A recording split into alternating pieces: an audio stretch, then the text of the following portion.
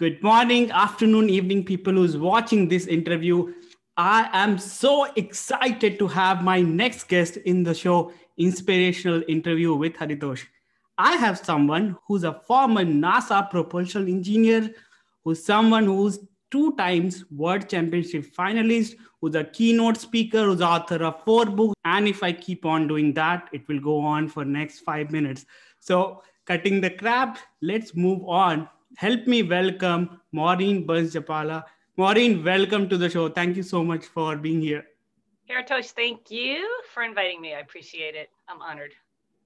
Thank you. I remember uh, I attended one of your session in uh, 2017 when you came to Toastmaster District 11 and you talked about imposter syndrome. And that was such an amazing session.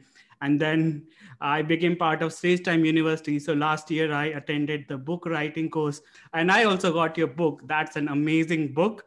I want you to talk a little bit about your journey in your words. So sure. Thanks, uh. Uh, my, my journey, you know what? Everybody has a story. Everybody's story needs to be told and I'm privileged that I get to tell my story frequently, actually. Uh, my background actually is engineering. I was uh, raised in New York City, and my dad was uh, not a, not a degreed engineer, but worked in the technical fields, and uh, he worked for the Port Authority. Port Authority is the organization that built the World Trade Center.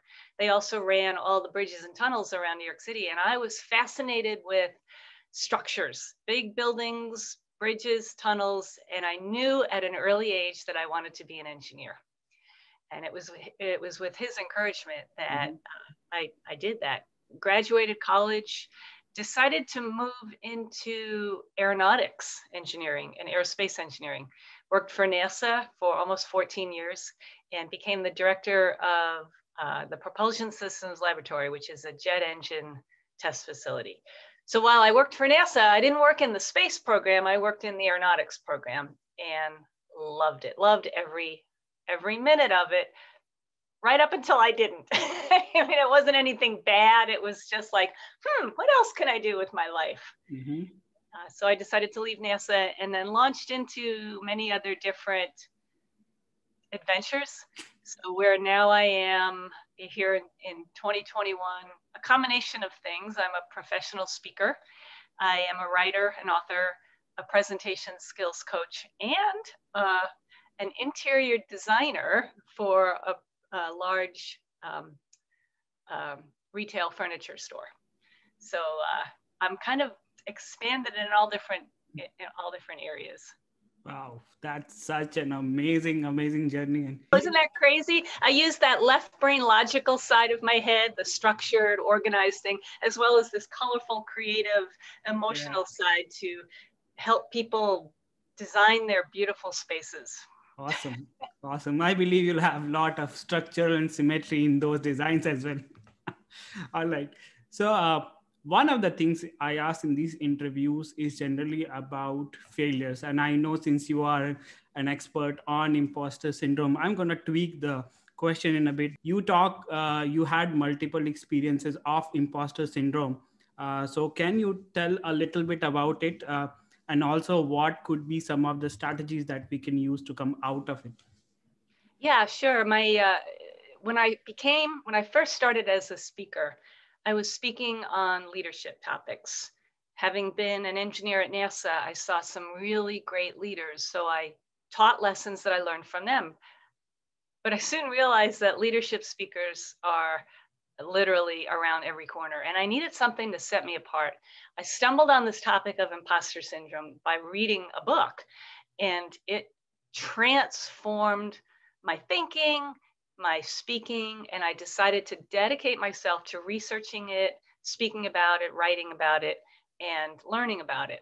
So uh, let's see, that was probably back in, I don't even remember what year it was, probably seven, eight, nine years now that I've been speaking on imposter syndrome the reason it spoke to me, literally, it sang to my soul, was when I was at NASA.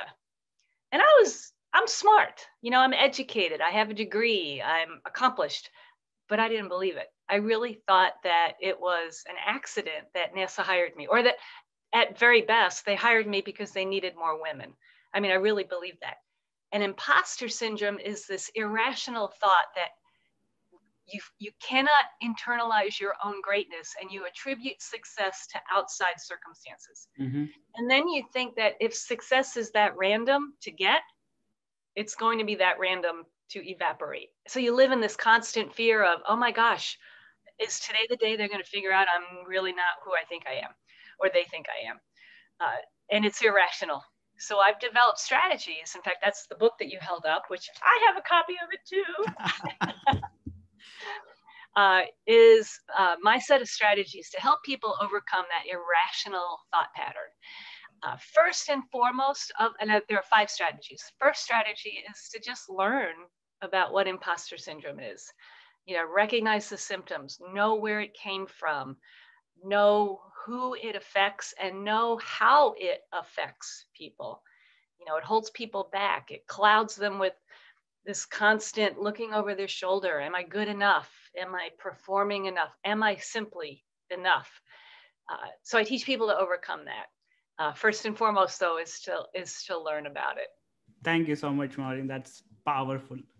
Now, another thing that uh, I did was part of the book writing program. And uh, when you talk about book writing, one of the misconception is that you have to be an ultra achiever, you have to be a, a high profile person, or you have to be really, really expert on multiple fields to write a book. Uh, and I know you are not in favor of that. Uh, so, what are your views about who should write a book? Yeah, this goes back to the whole idea of imposter syndrome. The imposter syndrome person thinks they do need to be not just good at something, they need to be the expert. They need to be not just the expert at something, but the expert at everything. And it's completely irrational. Nobody can be. There's no way you can know everything. But what you do know, not just what you do know, but your experiences, your background, your education, your pains and struggles, your perspective, your character qualities, those are valuable and valid to pass on to somebody else. And somebody else needs to hear about your perspective, your twist on things, your um, take on things. So to say that you need to be the expert on a topic to write a book, it's not true. You just have to be uh, you, an expert. And you just have to be good better than somebody else at something. Yeah. so uh, and like i said before everybody's got a story. We need to hear everybody's stories. So yeah don't uh, shrink back from the challenge of writing a book. I've written four books. I never and i'm actually in the middle of a fifth one i never would have thought I could write. I'm an engineer. We're not known for our verbal skills. So what do I do? I get help. awesome, awesome. So uh, that really reminds me of the Mark Brown, uh, Mark Brown's quote that no, your life is a story, and there's someone out there who needs to listen that. Thank mm-hmm. you so much. Now, another aspect that uh, you are probably the only uh, Toastmaster contestant who has been a finalist on on stage as well as on a virtual World Championship stage. Uh, so how was your journey uh, in 2020 championship and how was it different from an on-stage journey? Yeah, this this uh, 2020 year, well, you know, it's one for the record books on all fronts, let alone just the Toastmasters contest. And actually, I think there were three of us in the finals that had previously been in final, live final, live in-person finals. Mm-hmm. Uh, Kwong, Kwong was one, and um, uh, uh, Sher, uh, Sherwood was the other one. How does it, how is it different? Oh my gosh, where do I begin? Uh, prior to the finals, the DIS, was it, I think it was the division contest was the first contest that went all virtual. And that was probably back in, uh, I don't remember, June, May, I, I, don't even remember when, April, I don't remember when. Uh, the thing that struck me most was after I won, there was nobody to hug I didn't hear applause. I couldn't fist bump and make eye contact. It was just, I was in my kitchen all by myself. They they held up a picture of a trophy, and I was like, "Thank you." Is that it? It was. It. I mean, I was excited because I put the same amount of work in preparing as I would have for a live contest, but it just felt completely different. Uh, and then on the on the in the finals, there was still a level of intensity and gravity. I mean, Toastmasters International, they raised the bar in terms of preparation and austere feeling. They tried to maintain a definite sense of um, uh, uh, rarefied air. That's a good way it. Just like, wow, do you know how few people get to this position? So, in that sense, it was fun, but still, it was just a weird. The only ones at the contest were the uh, what six contestants and the contest chair. We couldn't even see the judges. Uh, we there it was just different. Okay. And I'm a, I'm a very social person, so that's the aspect of it that really uh, impacted me. All right. Uh, I think yeah, that must have been. I know I participated until division, and yeah, and when I came up as runner-up, they say, "Yeah, you are runner-up. That's it. okay, you go." and like, okay, uh, yeah, they were kind enough to send me some trophy through courier, but that came after three weeks after, so that was a long yeah. wait. but thank you so much for that. So uh, my next question would be about uh, your tips to any young professional, any young uh, people who are graduating and, and getting into jobs. I know there are some technical skills we all need to learn but there are some more skills that is very critical. So what do you think are those top two three skills?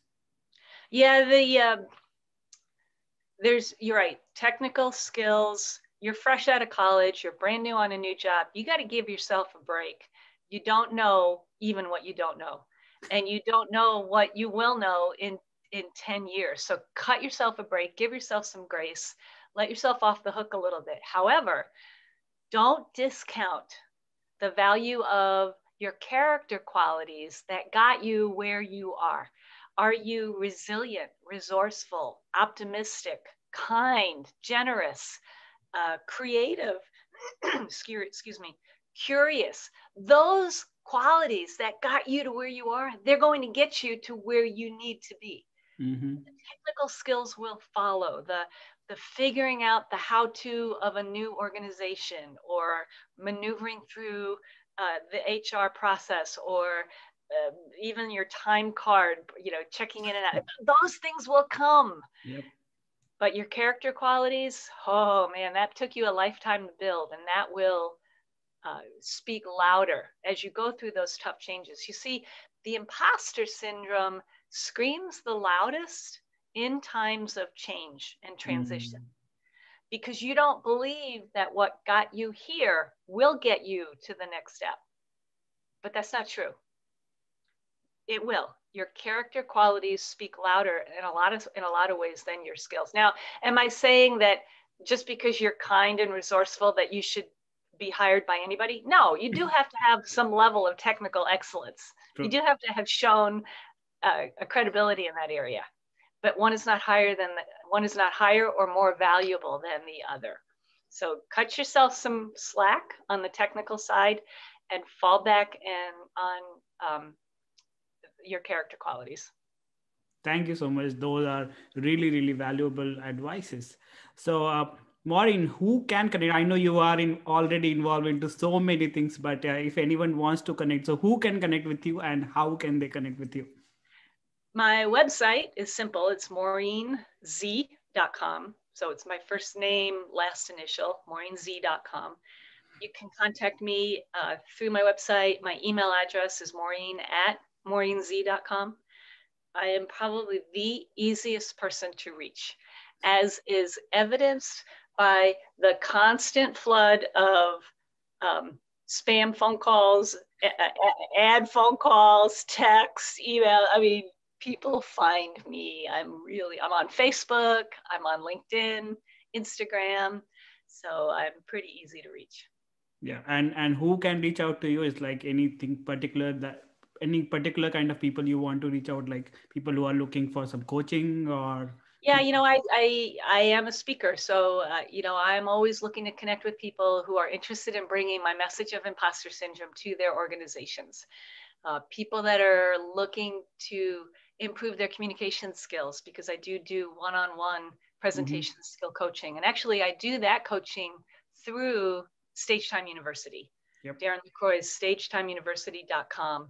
Uh, there, it's a, well, as you know, Haritosh, it's a phenomenal world filled with a treasure trove cool. of opportunities, education, camaraderie, coaching. It's fabulous. StageTimeUniversity.com.